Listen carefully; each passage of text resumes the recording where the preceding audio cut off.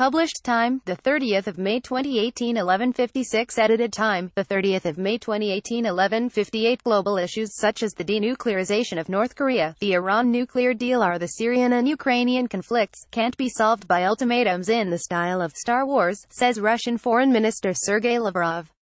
Over and over again we come to realize that ultimatums and pressure, exerted externally, including by coercion, are inevitably doomed to failure. The attempts to raise stakes in the manner of Westerns and Star Wars saga are doomed. Lavrov said. Speaking at the Primakov Readings International think tank summit in Moscow on Wednesday, the policy of ultimatums may be helpful while doing business, but escalation for the sake of de-escalation poses significant risks in global politics, according to the foreign minister. The long-term settlement of the most acute modern international crises can be achieved only via painstaking work on the basis of multilateral approaches and international law, involving all participants, especially the sides of a conflict. Lavrov stressed. Read more Russia also hopes that the planned summit between Donald Trump and North Korean leader Kim Jong-un won't result in ultimatums.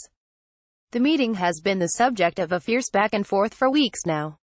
Last week, Trump briefly called it off but later made a U-turn, saying that the summit was back on the cards. We are supporting the ongoing changes in the relations between the two Koreas, in the relations between Pyongyang and Washington. And we hope that these talks will not result in an ultimatum, Lavrov stressed.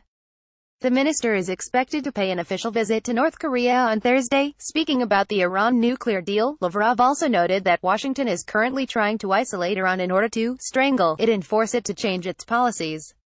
Russia doesn't agree with assessments that rely on the fact that Iran is the root of all problems in the region, he stated, by withdrawing from the Joint Comprehensive Plan of Action, also known as Iranian nuclear deal, the U.S. expected to trigger a total confrontation with Tehran, Lavrov said. Washington pulled out of a milestone 2015 deal earlier in May. This was despite the fact that the International Atomic Energy Agency, IAEA, confirmed Tehran's compliance with the deal on numerous occasions, as well as attempts of world powers, including France and Germany, to talk U.S. President Donald Trump out of the decision. Think your friends would be interested? Share this story.